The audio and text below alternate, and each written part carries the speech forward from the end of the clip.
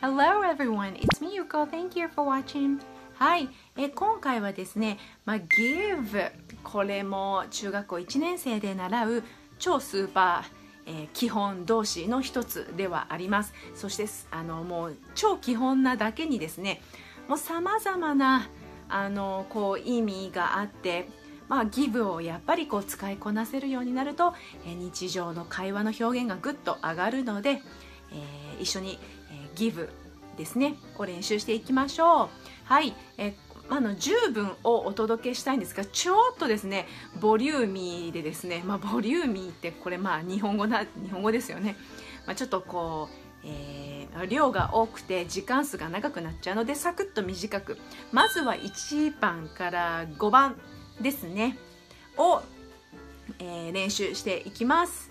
はいということで、えー、一緒に練習していきましょう。で、えーとまあ、練習の仕方はですねあのきちんと私あの日本語の解説と,、えーと、発音を、まあ、あのこう解説発音をこう一緒にこう練習していって、まあ、意味と発音をしっかりとこう、まあ、理解する、まあ、できるようにするっていうのがまずはポイントです。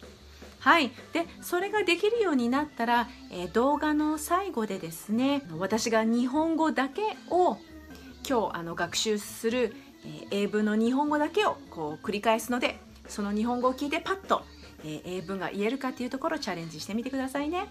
OK, let's get started! はいでは早速行ってみましょう。Let's get started! はいまず No.1 は先ほど言った、まあ、与えるの意味ですね。My boyfriend gave me the earrings ということで彼氏は私にイヤリングをくれた。はい、えー、というふうに、まあの give まあ、与えるですよね、えー、っていう、まあ、意味なので自分に与えるだから、まあ、何々くれくれたっていうあの和訳、えー、で、えー、も使われます。はい、でこれ「My boyfriend gave me」ではなくあのもう一つのパターンありますよね。My boyfriend gave the earrings to me. そうです。to me と to っていう前置詞を使う形、えー、もうこれ全くいやあのこう意味は同じですね、えーと、ボーイフレンドが、まあ、彼氏が私にイヤリングをくれた。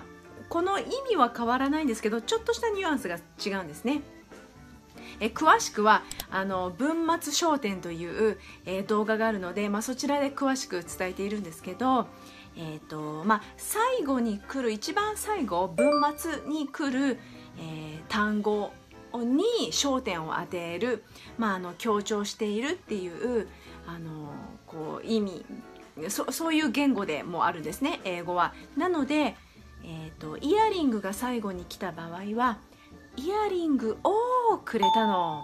イヤリングね。ネックレスじゃなくてイヤリングね。っていうことだし to me だと私に彼女じゃなくて私にプレゼントしてくれたんだ。っていうこう意味になるってことですね。はい。ちょっとそんな説明も入れつつ。はい。No.2 はですねえっ、ー、と I'll give a speech. I'll give a speech at my brother's wedding.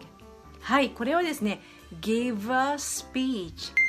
Give プラス、えー、何々あの、えー、プレゼンテーションとかですね。そういうのも,、えーと、もうプレゼンするっていう時に give という、えー、動詞を使います。もうこれはですねあの本当にたくさん英文をこう、まあ、見ていく触れていくインプットの量を増やしていくとあえっと、スピーチそっかそっかあのギブっていう動詞が必要なんだなっていうのがだんだんあのこうなんて言うんですかね本当に理屈で覚えるよりもたくさん数をこなすことでこう自然にこう腹に落ちていきます。はい、まあ、ギブスピーチを与えるんだっていうまあそういうニュアンスでもありますよね。スピーチをするっていう時は give a speech I'll give a speech at my brother's wedding はいですね。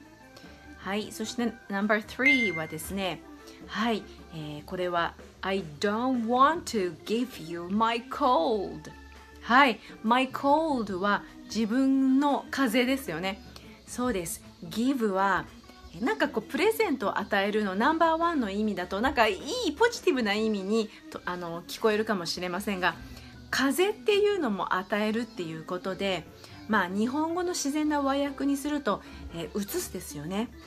風を移したくないということで I don't want to give you my cold. I don't want to give you my cold. はいというふうにあの風を移すの時も give という単語動詞を使います。はいそして No.4 はですね、えー、I give I gave up smoking. I gave up smoking.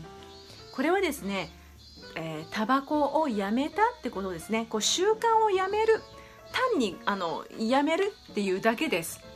あのゲイブギブアップを諦めるっていうなんかものすごい努力ありとあらゆる努力をしたけどあの無理だったタバコ吸えなかったという意味ではなくてですね単にあの習慣をやめる。だから stop とか quit とえっ、ー、と同じですね。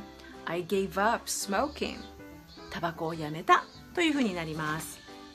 はいそして、えー、No.5 はですねえーまあ、現実になる望みがないっていう時、uh, give up give up on この on を使うってことですね、えー、例えばこんな感じ。He gave up on her He gave up on her はい。彼は彼女を諦めたってことできっとしつこくデートにも誘ったしまあ、ありとあらゆることをやったんでしょうけど全然まあ振り向いてくれない。現実になる望みがない、まあ、悲しいけどですね。Gave up on ですね。Give up on. Gave up on する必要がたまにはあるんですね。He gave up on her. 彼は彼女彼女を諦めた。はいというふうになります。はい。ということで、えっと、今回はじゃあ1から5番までですね。を私今からパッとあの日本語を言うのでささっと、こう英作できるかっていうところ、チャレンジしてみてくださいね。はいもうあのあんまり長いポーズは与えません。パッと言えるかっていうのが、重要です。OK No.1 彼氏は私にイヤリングくれた。2弟の結婚式でスピーチする。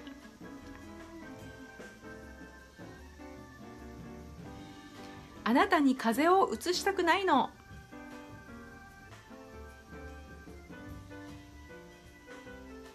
タバコをやめた。彼は彼女を諦めた。以上になります。いかがでしたでしょうか、えー、パッと言えるまで、えー、何度も何度も練習してみてくださいねでは明日、え6番から10番ちょっとこう長く、えなっていきますえー、ギブを含む、まあ、ちょっとイディオム的な、まあ、意味もありますね、えー、よくよくこう会話で使う、えー、文なのではい、えー、一緒に練習していきましょう OK! Thank you for watching! Have a good day! Bye!